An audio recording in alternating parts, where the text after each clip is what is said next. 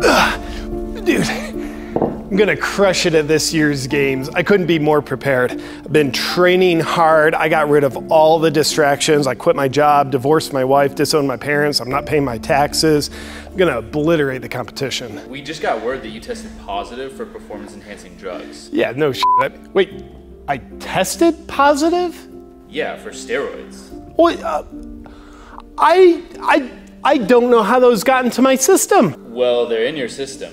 That, that can't be. It's got to be a faulty test. Uh, like I'm clean. I'm I'm clean as a whistle. A whistle, bro. Like a whistle that's never been washed ever. No, you definitely tested positive. You had 19 times the normal man's testosterone. 19 times. Is that in the acceptable range or? No, it's well into the illegal range. Dude, this is BS. I'm clean. Do you have any idea why you would have tested positive? Dude, no idea. I'm clean. Like, oh, it's got to be a tainted supplement. That's what it is. Like 100%, it was a tainted supplement. Like, what else would it be? Well, there's a lot of things. Dude, these tainted supplements, the way these supplement companies put very expensive pharmaceuticals into their cheap supplements, like they taint them. Like, and now I get popped because of it. That sounds like just an excuse. Dude, it was tainted. Like they put they put cow taint in supplements, and that shows up on the drug test that I forgot I had to take. I'm clean. I, I swear. I'm not sure about that. Dude, you you know what it is? Tainted meat.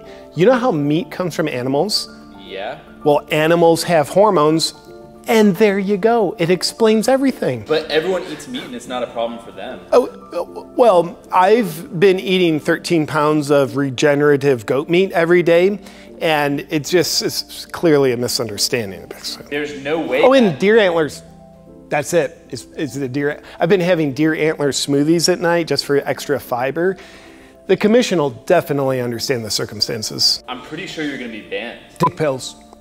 I've been taking a lot of dick pills help my performance with my wife, if you know what I mean. But you said that you left your wife. Do you think I'm being set up? I think I'm being set up. I wonder if Russia's behind this whole thing. Well, they said that you could take a second test to prove your innocence. Oh, shit. Uh, with pleasure. Be right back. Yo, are you just pouring water into that cup? No, no, because uh, no, uh, this is my urine sample. I think you were just pouring water into that cup. No, I mean, that's definitely urine. You're holding an open water bottle. No, um, I don't think I am. It's right there in your hand. Uh, th- this is my urine sample. In your other hand. I, I don't know what you're talking about. What are all those syringes from? Oh well, uh, the the tainted supplement. It's, they must have fallen out of that tainted protein powder. It looks like the syringes are preloaded with some kind of drug. Is that testosterone? Hmm. Man, that those syringes explain why that powder was kind of chunky when I was drinking it down. I mean, I thought it was just like chunks of cacao, but those syringes really explain my innocence.